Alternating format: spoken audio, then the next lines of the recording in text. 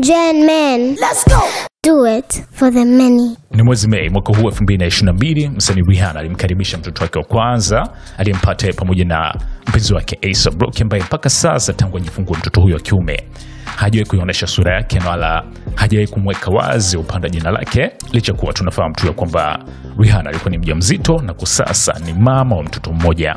Licha kujifungua ndani ya muda mchache sana, Rihanna ameendeleza kuwa busy sana upande wa masuala yake ya biashara na muziki, na tunafahamu mwanzoni mwa mwaka 2023 mwezi wa pili, yani mwezi Februari, atakuwa na shughuli nzito kwa kufanya performance kwa mara ya kwanza tangu muda mrefu sana kupita kuto kujihusisha upande wa utumbuizaji wa muziki na atahusu upande wa Super Bowl halftime show. Sasa watu wa karibu wa msanii huyu Rihanna kupitia entertainment tunaye tumethibitisha kuwa Rihanna bado ana mpango wa kuongeza watoto wengine kwenye familia yake, Kuna na mtoto zaidi ya moja ye pamoja na Asa Rocky siku za hivi karibuni. Entertainment tunaye tumeripoti taarifa hii na kuwa Rihanna ana furaha kubwa sana ya kuitwa mama, na ni kitu ambacho ilikuwa ni ndoto yake muda mrefu mpaka pale ambapo aliamua kuyachukua maamuzi na kuwa bado anahitaji kuwa na watoto wengine zaidi yeye pamoja na ASAP Rocky.